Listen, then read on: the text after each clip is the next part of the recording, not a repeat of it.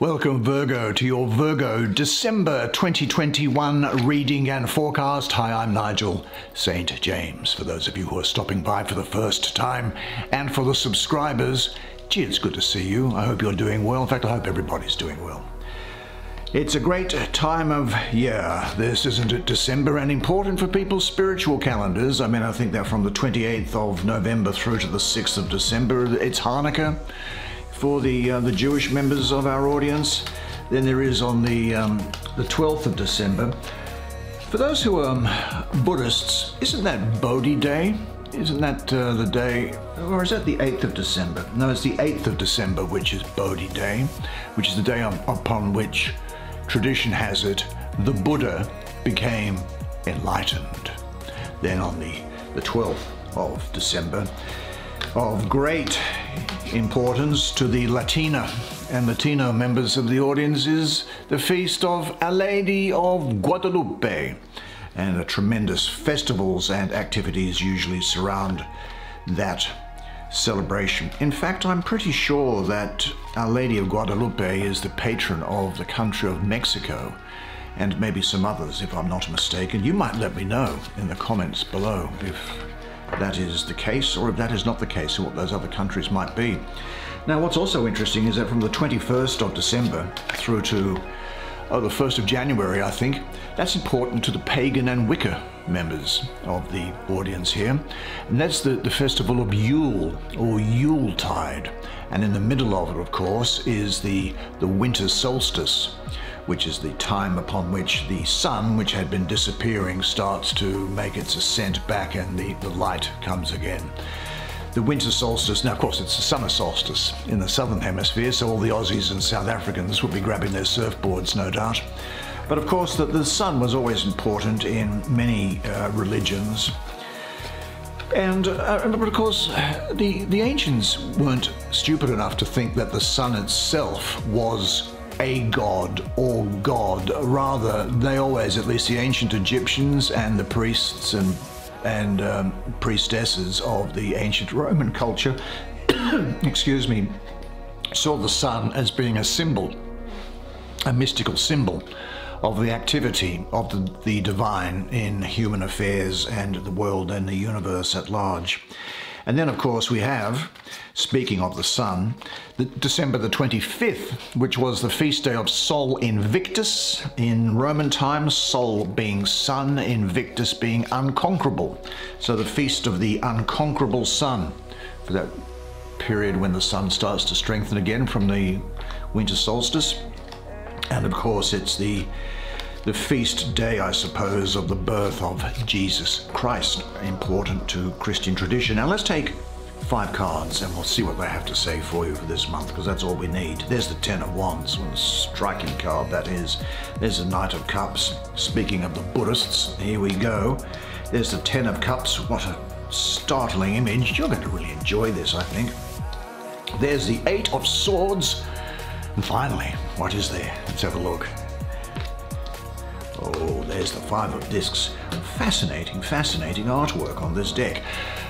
Well, why don't you come down now, sit down here next to me. We'll have a good close look at these cards together while I do the reading for you. Then I think you can see these. They were drawn one, two, three, four, five. Let's have a look at this Ten of Wands. Uh, I'm getting an image here of this Ten of Wands. Do you know in Christian scriptures there's this thing called the New Testament? It's the last book of that New Testament. It's called the Book of Revelation. And in chapter 6, verse 1 of that book, the text says, if I'm not mistaken, I watched as the Lamb opened the first of the seven seals. Then I heard one of the living creatures say in a voice like thunder, Come! I looked, and there before me was a white horse. Its rider held a bow, and he was given a crown, and he rode out as a conqueror bent on conquest well, wheels within wheels. The Ten of Wands is the wheel of fire.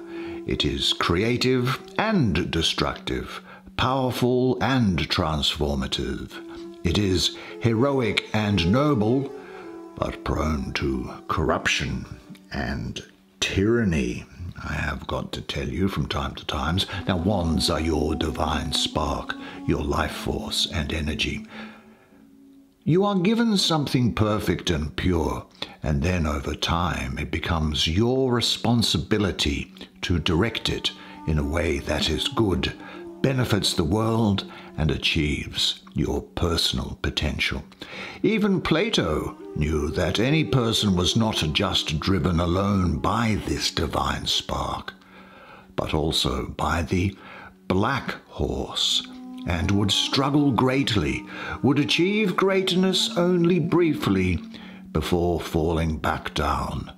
Falling and failing are okay and part of your being and will be part of the whole cycle. No hero no heroine becomes great while unscathed or without scars and darkness on their heart.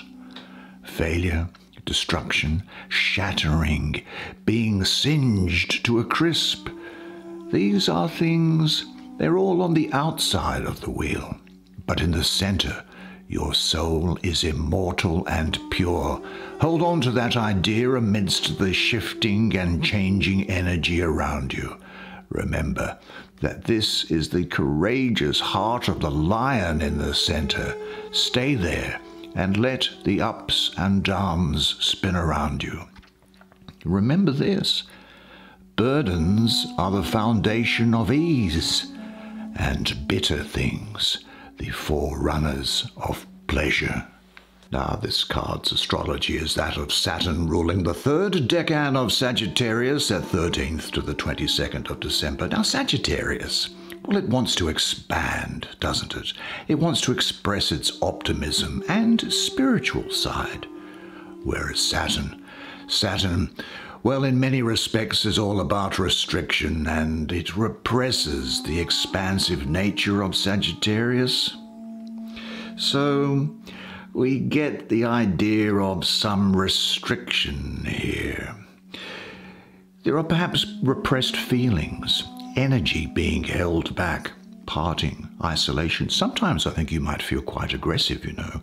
You might feel overburdened by things because you do tend to take on too much from time to time, don't you? You certainly do. And make sure that your health is going well. Do make sure of that. You might be feeling the pressure, you see. You could feel in this time that you have no control over circumstances or that you're a victim of your own success, even.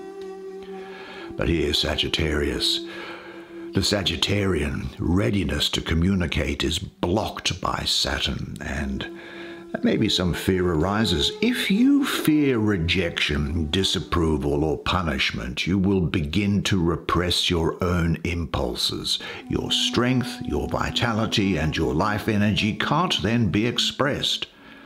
Now, repressed, these energies turn into irritation, rage, and violence towards things. If this aggression finds no external outlet, you may turn it inward upon yourself, and it may express itself as, well, as self denigration, or even depression in all of its aspects, maybe even as an illness. But I think this energy here for you is an invitation it is for you to recognize and end your repression and restriction of your own life impulses. This is a step towards taking responsibility for yourself and freeing yourself from unjustifiable moral restrictions and limitations. Now, as I say, it is possible that you might uh, find that your will to do something is blocked no matter how hard you try you might feel that you can't achieve it. And the danger is that you can begin to lose faith in yourself and your ability to get what you want, you know. But this card is not saying that this is something that you should do. In fact, it's saying that this is a warning to you that where you do feel blocked, do not lose faith in yourself. Now, whether you are consciously repressing yourself or not, recognize that there is much more which you would like to express, to experience, more to enjoy, more to celebrate. Dare. There are some things, I think, that you have always wanted to say to certain people. What are those things? And who are those people? I think that you can, for the time being, just for yourself, express those things right now. And say this to yourself I have the right to follow my feelings and life impulses. It has been given to me by God. Well, staying on that top line, why don't we have a look at this thing here, which is the Knight of Cups. Fascinating painting here. Gee, can you have a good look at that? This is interesting. Now I'm, I'm going to just chop off at the bottom there this so you can have a look at it because there's some things in here which I find interesting here. Well, the whole, this is the knight, and the whole world really is in the armour.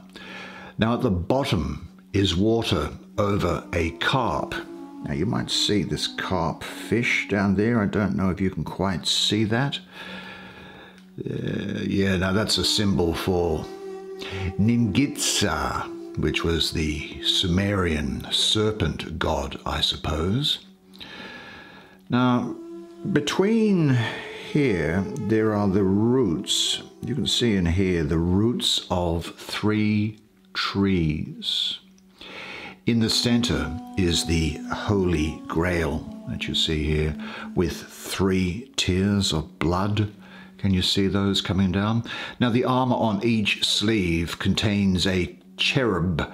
Uh, Ariel, the Lion of God, is on this right arm, and here, over here, is well, that would be Michael, which is who is like God. That means that.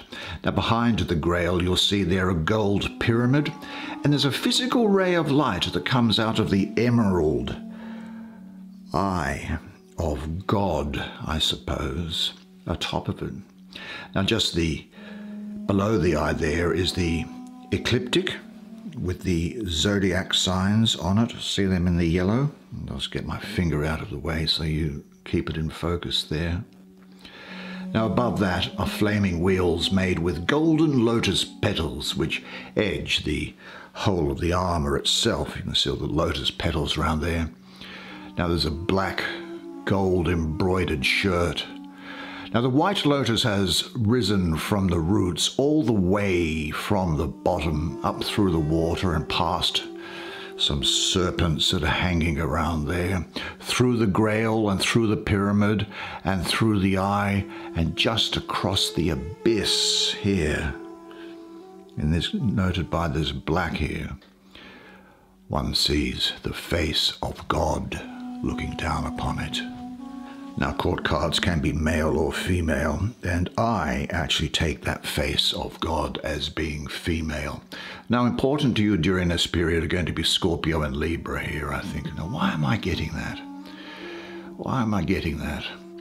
This is uh, esoterically, uh, as a, a knight it's air and in cups it's water, so you can have volatility or you can have equilibrium. But I'll say it's a younger man of some subtlety, secret violence, craft. Could well be an artist who has a surface mask, which masks uh, an intense passion.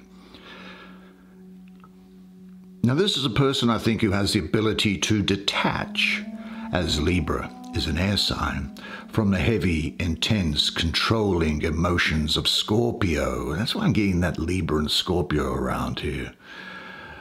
Uh, I think that this shows someone who is really in control of their emotions, and they can be. But this detachment and coolness on the surface can often, I think, be a front for insecurity and fear. Also, usually the feminine asks the masculine to go deeper into his feelings, to join her in the place where two meet one in relationship, and there can be a reticence on the part of the male to do that sometimes. there is a person here. Look, with this person here, as fast as a river flows, so does he, trying to get the most out of life as is possible. There's a great degree of craving around here.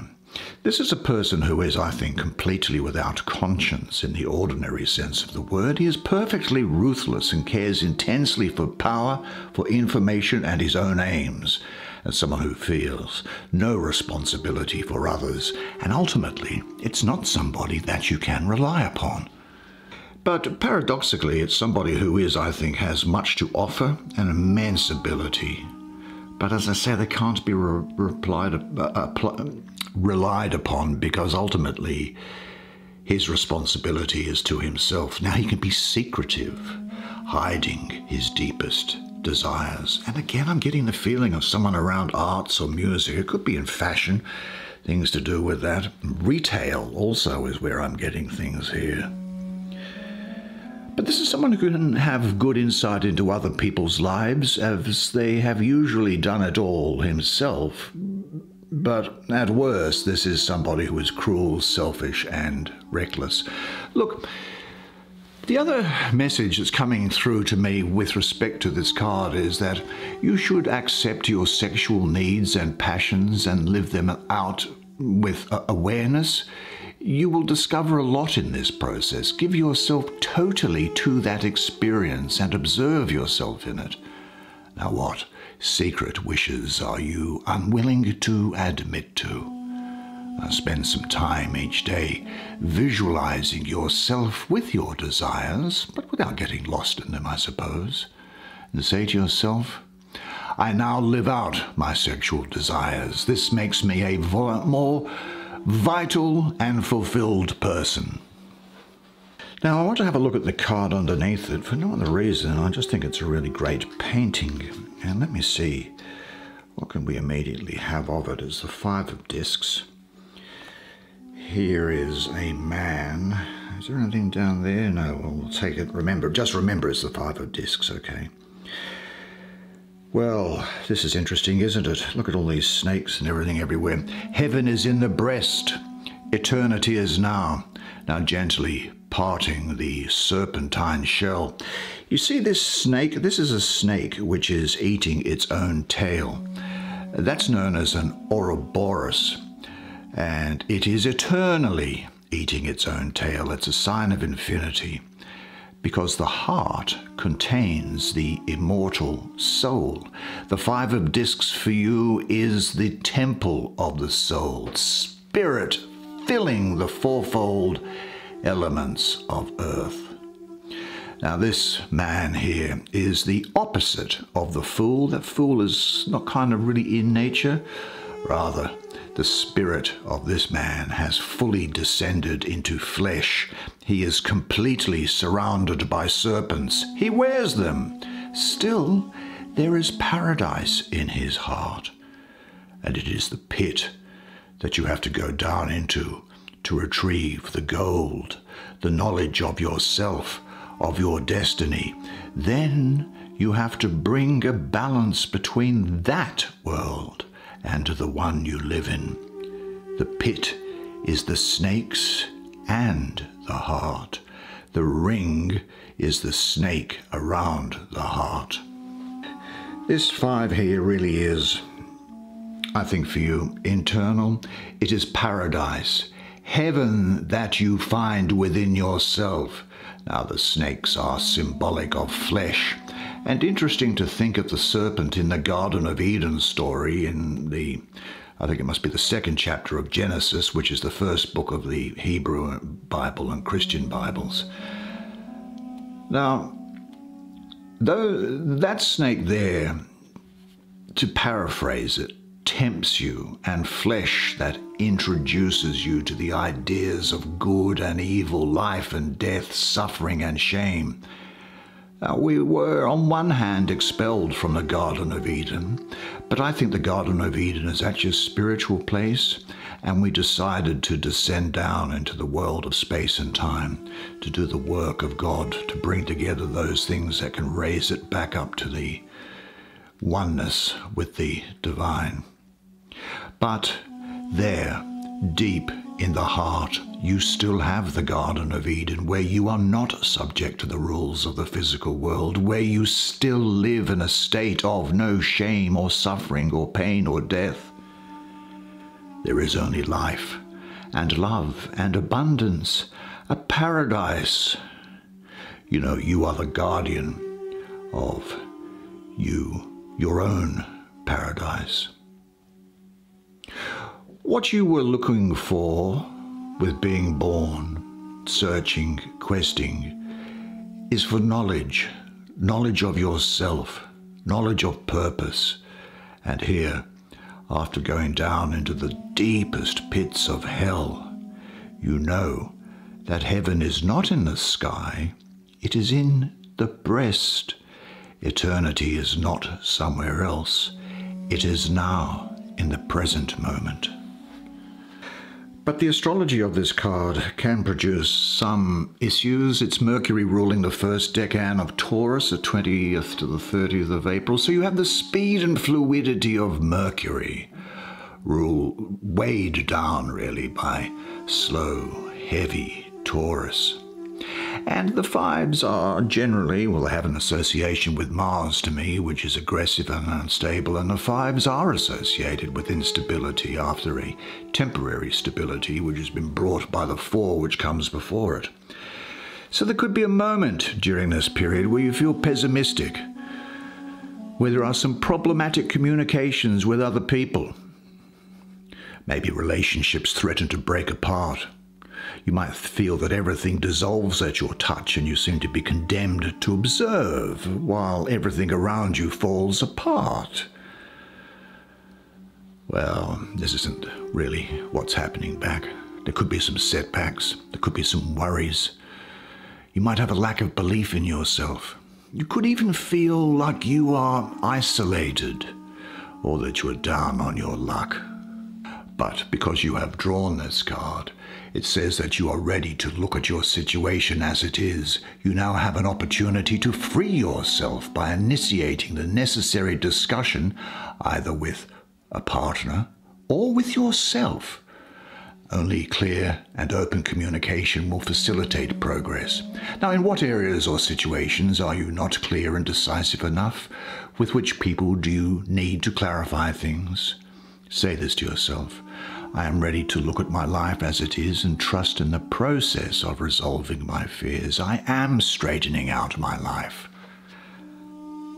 And when you feel that you are alone in everything, remember that you have drawn this card here. Remember the divine feminine that I see there.